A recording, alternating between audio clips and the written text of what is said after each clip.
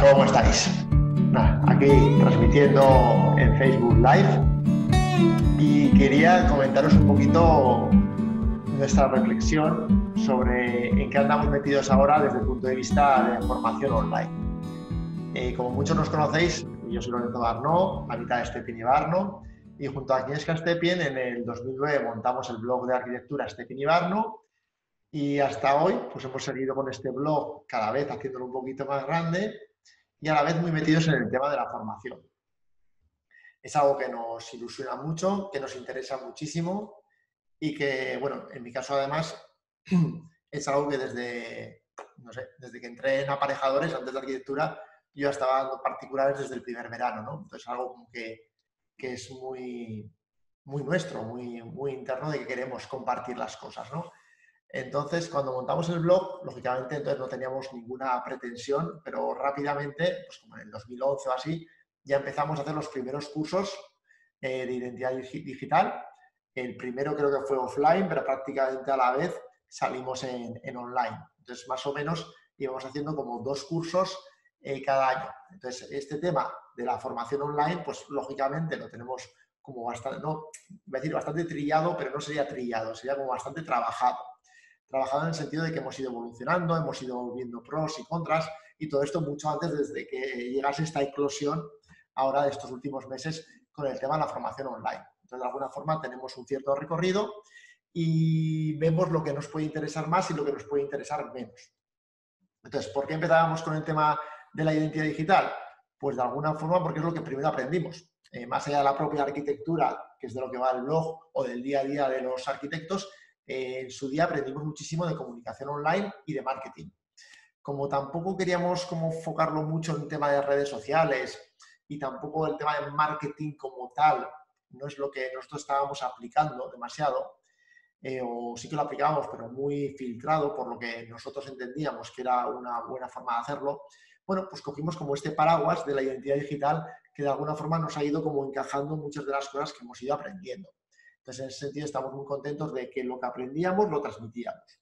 Y esto ha sido muy, muy rico, muy rico porque en los cursos eh, provocamos siempre mucha interacción. Es decir, eh, desde la propia carrera, incluso mucho antes, eh, nos rechinaba muchísimo la figura del, profesor o arquitecto o lo que fuese, que se pone ahí, se, entra, se sienta a cátedra y está todo el día soltando la chapa y la chapa, incluso detrás de una trila ahí como medio escondido.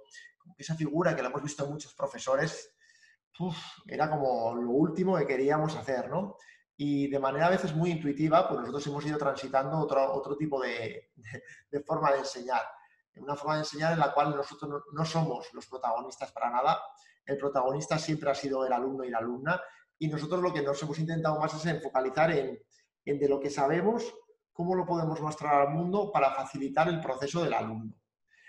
Eh, no es fácil, no es fácil porque muchas veces eh, es mucho más sencillo. Es decir, estas son las reglas, esto es lo que a mí me ha servido, esto es lo que yo te cuento y por aquí es el camino. Es que además eh, es muy fácil, pero es que yo no me lo creo, nosotros no nos lo creemos. Entonces, como tal, no íbamos a ser consecuentes si seguíamos nosotros intentando enseñar en esa línea. Y creo que desde el principio los cursos han funcionado muy bien precisamente por eso. Al principio teníamos poquitos alumnos, 20 eh, alumnos en algún curso, 30 en el que más, bueno, y así fueron, pasando los años y combinábamos lo online con lo offline. En ese momento no teníamos la idea de una escuela online de arquitectura, es un poquito lo que va a la reflexión de hoy, ¿no? Si tiene sentido para nosotros intentar pensar en una escuela online de arquitectura para Stepin y Barno, o simplemente es un, no sé cómo llamarle, un conglomerado de cursos o un, eh, bueno, ahora mismo es eso, ahora mismo son varios cursos que tampoco tienen una estructura y no, no hay una escuela, ¿no? Pero lo que queremos es como seguir transitando, porque después de la identidad digital, lo que nosotros aprendimos muchísimo fue de productividad. Y bueno, siempre tenemos tendencia a llevarlo a nuestro ámbito de los arquitectos y arquitectas.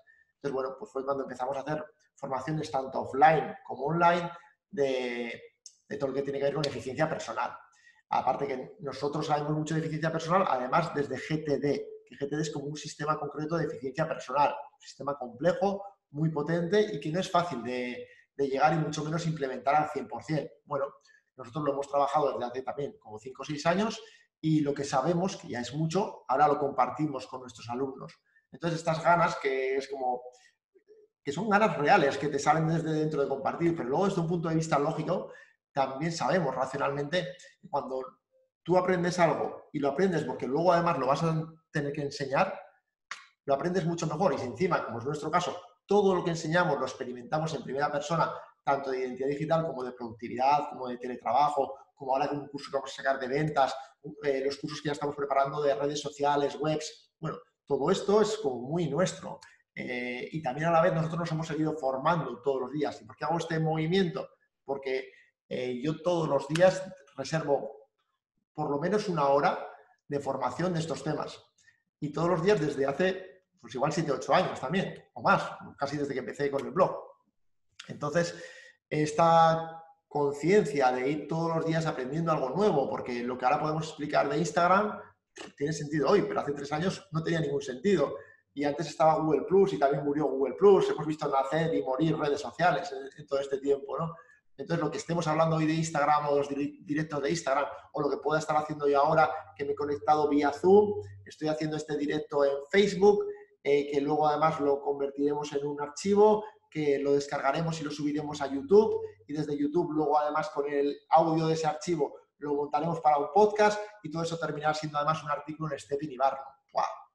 Dices, ¿y qué me estás contando? Pero si esto es un, un directo sin más en Facebook, no, es un directo en Facebook y también es todo esto. Es como si dijéramos con una estrategia multicanal, que lo que nosotros queremos transmitir lo vamos a transmitir por audio, lo vamos a transmitir por vídeo, por vídeo en diferentes redes sociales, por vídeo en YouTube, que además van a convertir en un blog, en un post del blog. ¿Por qué? Porque al final, si estamos en las redes sociales, estamos vendidos a las redes sociales. Si esto al final, pum, acaba estando en nuestro blog, la reflexión, eso va a estar ahí para siempre. De cara a los buscadores, de cara a todo, tiene muchísimas ventajas, ¿no? Entonces, incluso un vídeo tan sencillito como este, pues tiene un, cierto, una cierta complejidad detrás. Y todo esto es lo que nos interesa bastante, en realidad.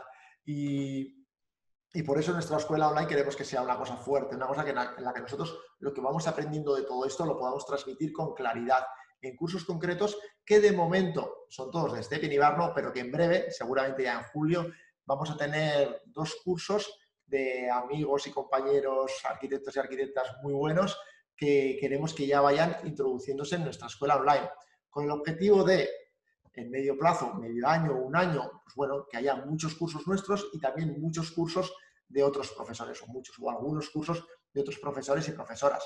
En principio, no vamos a lo neurálgico de la arquitectura, vamos a esta cosa como más en la periferia. Damos por hecho que la formación en las escuelas de arquitectura es buenísima, en general, eh, y que precisamente toda esta parte más que luego hace mucha falta en el día a día, pero que no da tiempo a darlos en las escuelas o las escuelas, por lo que sea, no están preparadas para ello, eh, pues bueno, como completar esas carencias con nuestra propia escuela y que mucha gente que termine arquitectura o gente que ya estáis fuera, pues digáis, ahí va, ¿qué están tramando este penibarno esta vez? ¿Qué, ¿Qué, curso nuevo han hecho? Ah, mira, sobre no sé qué, ah, mira.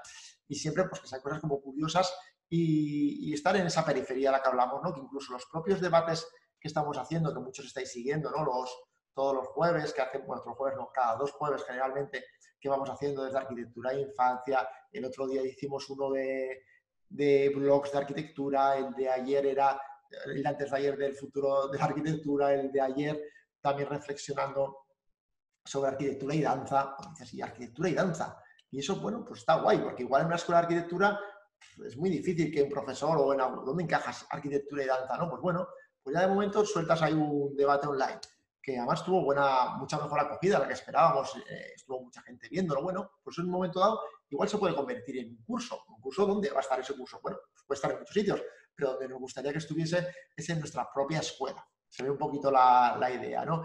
Entonces, todo esto eh, creo que además tiene mucho sentido porque nosotros somos arquitectos y, seguimos amando la arquitectura y nos sigue interesando muchísimo el día a día de los arquitectos. Es decir, nosotros nunca vamos a saber tanto de productividad como una persona que solo se dedica al tema de productividad y eficiencia personal.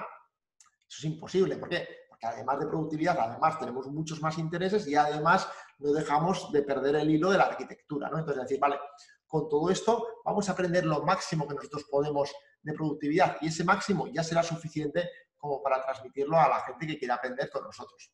Esta es un poco la, jugada con la que nosotros solemos estar más conectados, ¿no? Porque al final esto se trata de, estar haciendo algo que, tú realmente te lo creas mucho. Es decir, esta cosa de Simon Sinek del qué, el por qué y el para qué. Los qués, hoy estoy aquí en este, en este directo, mañana puedo escribir un artículo, pasado mañana podemos lanzar un curso, son qués, pero el cómo, cómo estamos, con qué actitud, esta actitud de vamos a hacer que los alumnos participen, vamos a ver que lo que somos nosotros, aquí es yo y nuestros colaboradores, se note lo máximo posible, vamos a expresarnos, vamos a dejarnos ver. En este cómo, bueno, pues nosotros creemos que, que, tenemos mucho que aportar, ¿no? Y luego tenemos muy claro ese para qué, ese para qué de completar esa formación o esos intereses de muchos arquitectos y arquitectas para que os vaya mejor, en el fondo, para que, para que la vida sea un poquito más sencilla, tanto desde el punto de vista de la visibilidad, que te puede dar una buena identidad digital y, en consecuencia, tener mejores opciones laborales, o con todo lo que nosotros enseñamos de eficiencia personal, que tu día a día sea más tranquilo, más calmado, que puedas hacer un poquito más con un poquito menos de tiempo. Todo esto es nuestro para qué. Luego iremos viendo con qué, qué es lo vamos haciendo, ¿no? ¿Se entiende esto también? Porque es bastante importante de cara a por qué hacemos nosotros las cosas, porque si no, igual todo esto tampoco tiene tanto sentido. Y al final es mucho esfuerzo y hay que estar muy motivado para realmente decir, vale, que queremos ir ahí. Y la escuela online de alguna forma es lo que nos va a facilitar todavía más. No vamos a dejar de hacer el blog, el podcast, canal de YouTube, ¿por qué no? Porque precisamente creemos mucho en que hay que estar ahí. Pero también hay que estar como, como muy centrados en lo que nosotros llamamos como un término medio entre la perfección y, salir en modo beta. Es decir, está muy bien. Este, los arquitectos tenemos como una tendencia a la excelencia, que todo sea como perfecto, que todo esté niquelado. Vale, sí, y no está mal de partida, pero si te pasas mucho ahí, luego cuesta, cuesta arrancar las cosas y entran muchos miedos y muchas inseguridades. Y si estás siempre lanzando movidas y venga siempre en fase beta y, y, cualquier cosa que se te ocurre la vomitas y la tiras a la red y como todo es muy barato y muy rápido, bla, bla, bla, bla, bla, boom, se emite mucho ruido y tampoco funciona bien, porque hace falta como un periodo también como de maduración y un periodo de formación, ¿no? Estemos donde estemos, aunque sea mínimo, hace falta formarse, ¿no? Entonces, buscar este término medio entre ni estar aquí ni estar aquí, quizás más hacia aquí que hacia aquí, pero, pero bueno, como para nosotros es importante buscarlo en primera persona y también transmitirlo, enseñarlo en nuestros cursos para que los alumnos, pues de alguna forma, pues puedan, puedan disfrutar de eso. Y nosotros en el fondo lo que apostamos es por una educación expandida. Que, animar también. de hecho, estamos colaborando también con una escuela de arquitectura y animamos a todas las escuelas de arquitectura a eso, a expandir sus aulas y que ya eh, la propia realidad del propio día a día, el propio coronavirus, que nos ha traído muchas tragedias y muchas desgracias, pero también nos ha abierto los ojos a que el teletrabajo bien hecho es posible y tiene mucho interés, a que la formación online de repente tiene muchísimas más posibilidades de las que nos imaginábamos todo esto que ya está aquí, ya ha llegado para quedarse, pues bueno, muchas escuelas de arquitectura ya lo van a ir implementando. El otro día mismo estábamos dando una masterclass, una, digamos llamarle un seminario en un máster de, diseño, que seguramente si no hubiese llegado todo esto, pues ni si hubiesen planteado que nosotros vía online les podíamos dar e, ese, taller, ¿no? Bueno, pues lo día ping-pong en un Pispas, lo organizamos, lo hicimos y todos están contentos. Bueno, son cosas que ya han llegado eh, tendremos que estar todos como muy atentos y muy en nuestro eje para ir recogiendo lo que va viniendo e implementarlo y ser lo más útiles al mundo desde ahí, ¿no? Desde esta cosa, en nuestro caso, de la formación y sobre todo de resolver problemas, porque muchas veces queremos hacer lo que nos gusta. A mí me gusta hacer no sé qué, o imagínate que a mí me gusta hacer un curso de bla, bla, bla. Pero si ese bla, bla, bla en realidad no tiene tanta demanda, pues ¿qué, más da? Pues hacer de blu, blu, blu, que igual también está muy bien, igual también sé mucho, y puedo ayudar a más gente, ¿no? Pues es, como lo mismo, es como buscar ese término medio entre lo que realmente eh, sabemos bastante, lo suficiente como para enseñar, y lo que nuestro entorno nos está demandando. En este caso, pues son eh, el montonazo de gente que nos visita en el blog, o la gente que nos sigue en las redes sociales, o la gente que está suscrita a nuestra newsletter, y con ese feedback y esa interacción, pues ir, en nuestro caso, aportando un granito de arena dentro de, dentro de lo que sabemos. Y en esto es en lo que seguimos, esto es, en esto es lo que vamos a seguir. Y de esto era un poco esta reflexión, que ahora estoy aquí en directo vía Facebook, pero como decimos, esto ahora lo vamos a subir a YouTube, con lo cual habrá gente que esta misma reflexión la está viendo en YouTube y si la estás viendo en YouTube no olvides de suscribirte, darle a la campanita, dejar los comentarios y si lo estás oyendo en podcast, pues no olvides que tenemos muchísimos más podcasts en este Pinibarno, llevamos por más de 30 podcasts y seguiremos enredando por todos los frentes en esta estrategia multicanal para intentar llegar dentro de nuestras posibilidades al mayor número de arquitectos y arquitectas. Esto ha sido todo un placer. Aquí Lorenzo Barno, de este Barno. Y para lo que queráis, nos tenéis siempre a tiro de piedra, a tiro de correo, a tiro, a tiro de tweet. Y sabéis que somos interactivos y que nos encanta saber más